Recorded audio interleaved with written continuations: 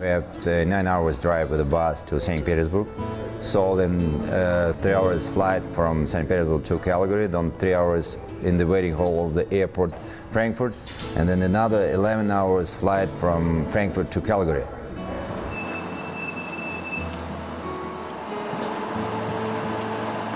At 1.05 we were at the airport, so at 2 we were the, at the reception, at 3 uh, had a lunch at the noodle uh, factory, and at 6.30 we have an exhibition game in Strathmore.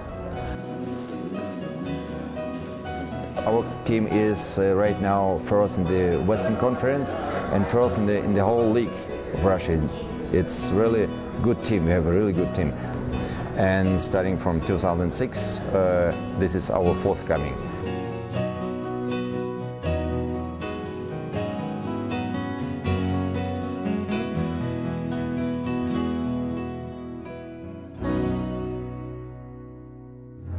It was on the 7th of September uh, when I was uh, told that the so there was there was an airplane crash and some of the guys are injured of the Lokomotiv guys are injured. So and then probably in half an hour or so I was told that the so the, everybody is dead. So it was unbelievable. I was shocked. Like everybody was shocked. Uh, it, it, it was it wasn't true. It shouldn't be a true everybody was so upset because everybody has very good friends from Lokomotiv because we are really a neighbor city. So many uh, so many young guys were died at this airplane crash. They, uh, they were 18 19 20 years old. The whole team Severstal were was at this funeral.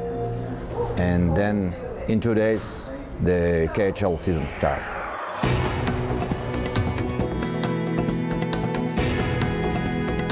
they're good kids and also their badges I think that they they could just remember so that the, everything could happen. And you have to you have to uh, to do every day every day you have to to do some for hockey right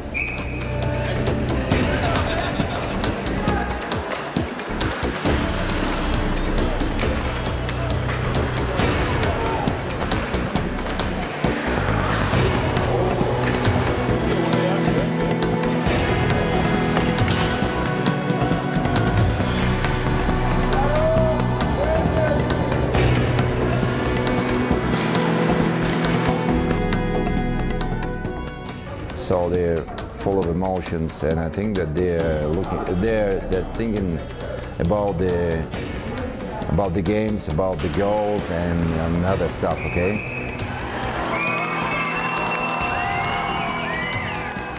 So the guys are so exciting about this. It's a very uh, very strong uh, th these are very strong teams and uh, I think it's a very good experience for the kids. So to represent the Russia and the Severstal as well.